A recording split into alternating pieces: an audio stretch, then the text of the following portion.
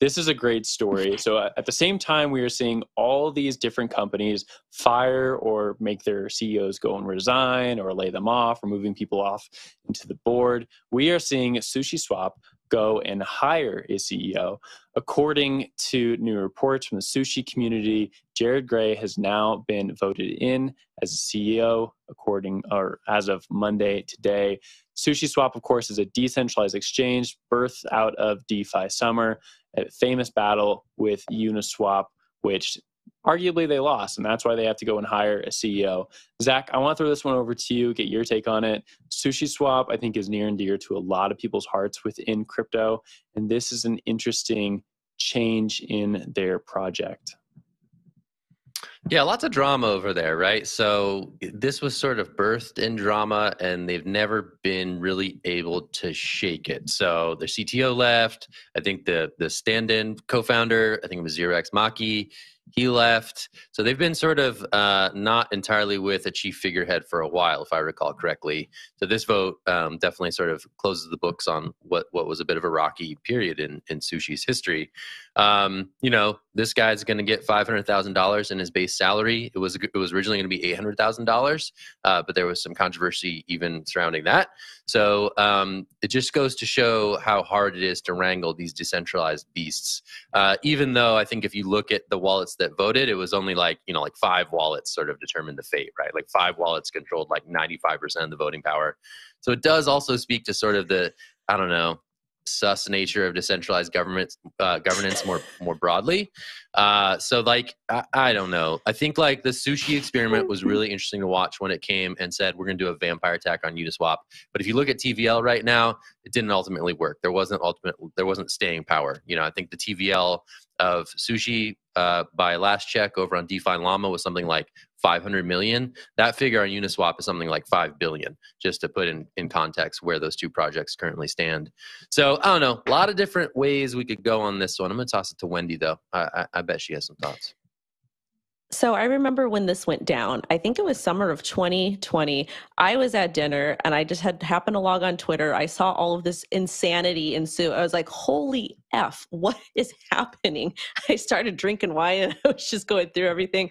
I was actually able to get Sam from FTX to come on and talk about it because I feel like they sent everything. I, I remember correctly. He kind of like fixed or de-escalated the situation, and um, it was just a really bizarre time in crypto. Like I just remember everybody was so upset, everybody was so mad. There's all these craziness, and then the FUD got linked to this other crypto project, and they tanked, and it's just crypto and decentralization. And I still don't really necessarily like the way DAOs are structured because I feel like it still gives people with lots and lots of tokens. People got an early a lot of money to kind of swoop in and get to dictate what happens. But it was it was a good time. It's when we had all of those food tokens and yay for food tokens. Not financial advice. yeah, yams. We need a taco token. Um, but before we go on a tangent one. about taco, well, probably. I mean, yeah, it would make sense. I think that if we, sorry, I just really lost it there. I was really funny in taco tokens. I think if we look at uh, decentralized governance, almost every project I've looked at when we talk about a vote like this, it's always five accounts with a shit ton of tokens that are making decisions. And so that is definitely a problem that needs to be solved.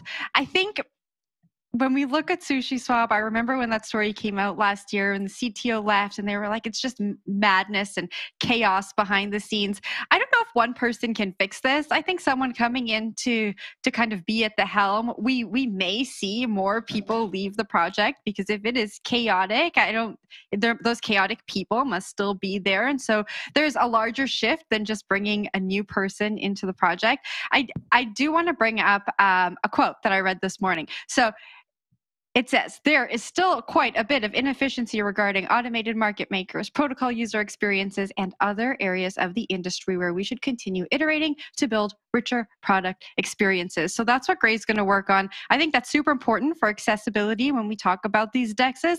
But to to have a great user experience and to attract people to the dex, I think you need to clean up what's going on behind the scenes. And so there's going to be a lot of work cut out for him. I think.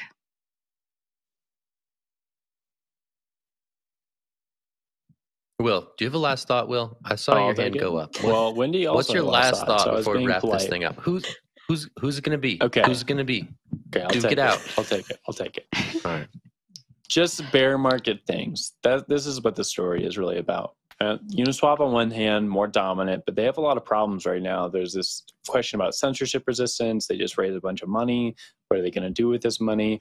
Are they going to continue to uh, be okay with OFAC censoring? And are they going to become more like a mainstream fintech app? You know, have a backend that a lot of other fintech companies use and are approved by the like the regulators at large.